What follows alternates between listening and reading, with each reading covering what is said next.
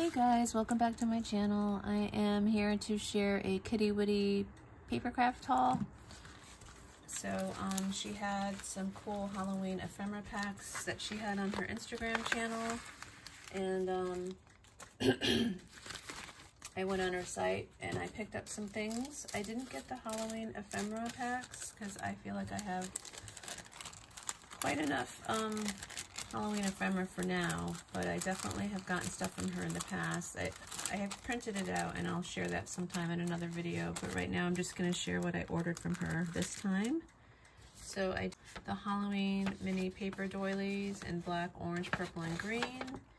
And um, this is for junk journaling, paper crafts, and she sends everything out right away, and she's very sweet and super helpful. If I ever have a problem, she always like fixes it right away. This is not my first purchase from her. I have purchased stuff from her before, and I love all her things that she sells. She's an amazing crafter and is such a sweetheart, and she's just a really awesome person. So um, I will leave a link down below to her channel um, and also to her Instagram page.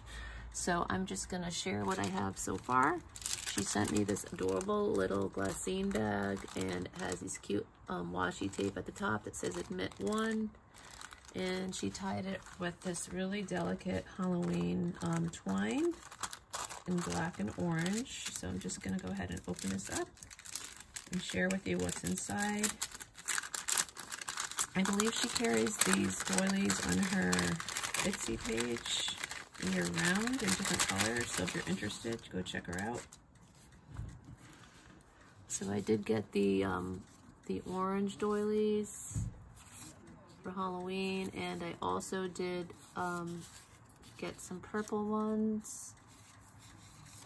So they're so pretty. I think they're by Doodle something. I forget the brand, but she carries them on her in her shop. So I picked up these purple ones, and then I also picked up these green ones. And I love the size of these. They're perfect for like doing um, uh, embellishments. You know, they're not too big like the ones you get in the store. And I also got some black ones. So aren't those so pretty?